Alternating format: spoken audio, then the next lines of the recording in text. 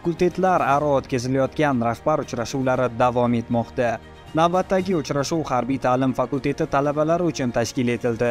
Bunda yoshlar universitet rektori pedagogika fanlari doktori professor bahodirjon shermuhammedovning jamiyat boshqaruvi ilm ma'rifat yo'li kitobxonlikning foydasi axborot xurujlari turli yot g'oyalar ta'siridan saqlanish sog'lom turmush tarziga amal qilish oilasiga va vataniga sharaf keltirish muhimligi borasidagi tajribalarni muloqot orqali o'rgandilar.